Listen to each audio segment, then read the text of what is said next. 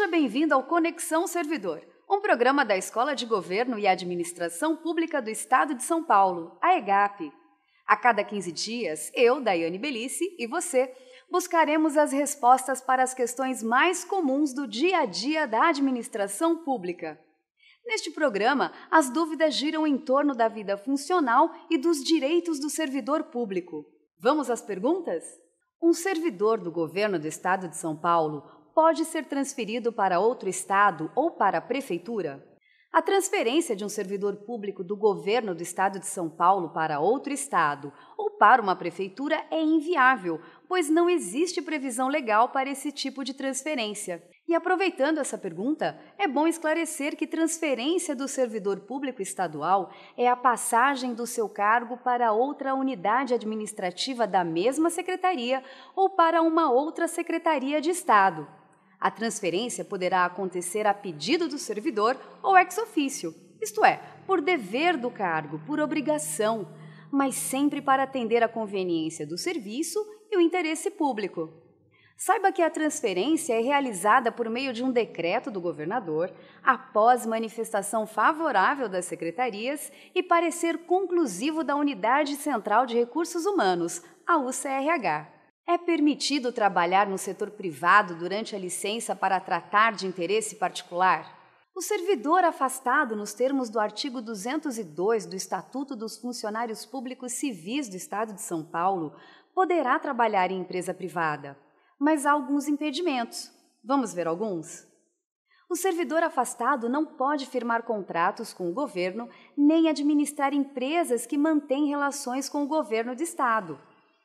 Se a empresa tiver vínculos com o governo, o servidor somente poderá trabalhar nela caso as atividades envolvidas não estejam diretamente relacionadas com a finalidade do órgão em que está lotado.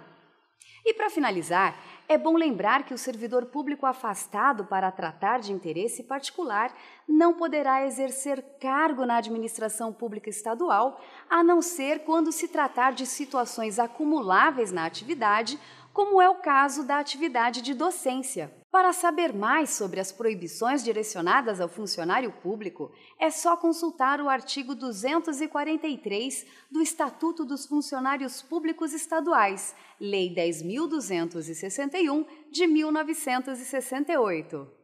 Policial civil aposentado pode ter outro vínculo no serviço público municipal ou outro vínculo com o Estado? A Lei Orgânica da Polícia do Estado de São Paulo, a Lei Complementar 207 de 1979, definiu o que se entende por regime especial de trabalho policial. Em seu artigo 44, ela determina que o policial civil ativo ou inativo não pode desempenhar quaisquer outras atividades remuneradas, exceto se essas atividades estiverem relacionadas ao ensino e à difusão cultural e se forem compatíveis com a atividade policial. Isso significa que o policial civil ativo ou inativo, seja ele delegado, perito, legista, investigador, dentre outros cargos, poderá exercer atividades de ensino e também atividades de difusão cultural.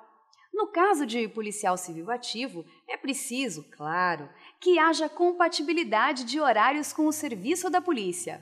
Se você quiser se aprofundar um pouquinho mais nessa questão, além da Lei Orgânica da Polícia do Estado de São Paulo, veja também o inciso 16 e o parágrafo 10 do artigo 37 da nossa Constituição Federal. É possível solicitar reintegração ao cargo após ter pedido exoneração? Não é segredo que o pedido de exoneração por parte do servidor é uma manifestação unilateral que expressa a sua vontade de desocupar o cargo na instituição. Desse modo, se forem obedecidos os princípios constitucionais que regem a administração pública, em especial da publicidade, e finalizada a formalização do pedido de exoneração, o vínculo do servidor com a administração pública será rompido definitivamente. Com isso, será inviável a reintegração do servidor público exonerado. O retorno ao serviço público somente se dará após aprovação em concurso público, conforme determina o inciso 2 do artigo 37 da Constituição Federal. Os dias de férias são descontados nos cartões de refeição e alimentação? Sim, os dias de férias são descontados nos cartões de refeição e alimentação, porque a Lei 7.524 de 1991, em seu artigo 2, determina o pagamento desses benefícios de acordo com os dias efetivamente trabalhados. O servidor afastado, após decorridos os 90 dias do pedido de aposentadoria que ainda não foi publicada, faz jus a férias? Não, o servidor prestes a se aposentar não terá direito a férias, já que a Constituição Paulista, no parágrafo 22 do artigo 126, assegura ao servidor público do Estado de São Paulo o direito de cessar o exercício da função pública, independentemente de qualquer formalidade no caso, a publicação da aposentadoria a partir do 91º dia contado da data de apresentação do pedido de aposentadoria voluntária. Essas foram as perguntas de hoje. Participe do nosso programa, deixe sua dúvida nos comentários a este vídeo ou então utilize nossos canais de comunicação, esses que você está vendo aqui embaixo. Se você gostou do nosso programa, curta este vídeo, se inscreva em nosso canal e se habilite para receber as atualizações. Eu fico por aqui, mas conto com a sua conexão no nosso próximo programa com respostas a outras perguntas frequentes sobre a administração pública paulista. Até lá!